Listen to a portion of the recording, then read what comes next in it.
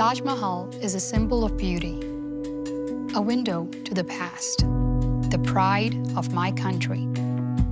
And in an instant, it could completely disappear. It is hard to imagine, but last April, only 500 miles from here, the Gorkha earthquake devastated Nepal and completely destroyed some of the world's greatest architectural wonders. But what if those buildings could be restored? What if history could be brought back to life exactly as it was?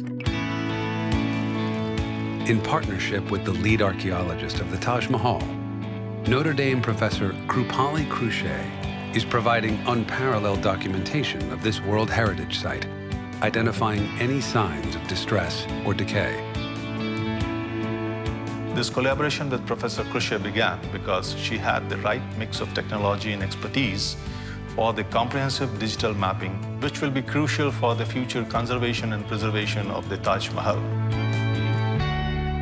Our 3D blueprints allow us to understand how ancient structures were built and the techniques used to construct them. So in the event of natural or man-made damage, they could be restored to their original state.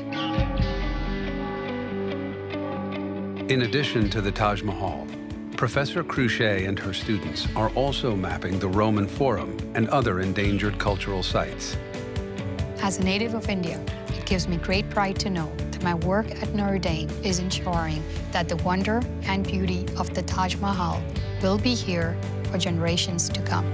The University of Notre Dame asks, what would you fight for?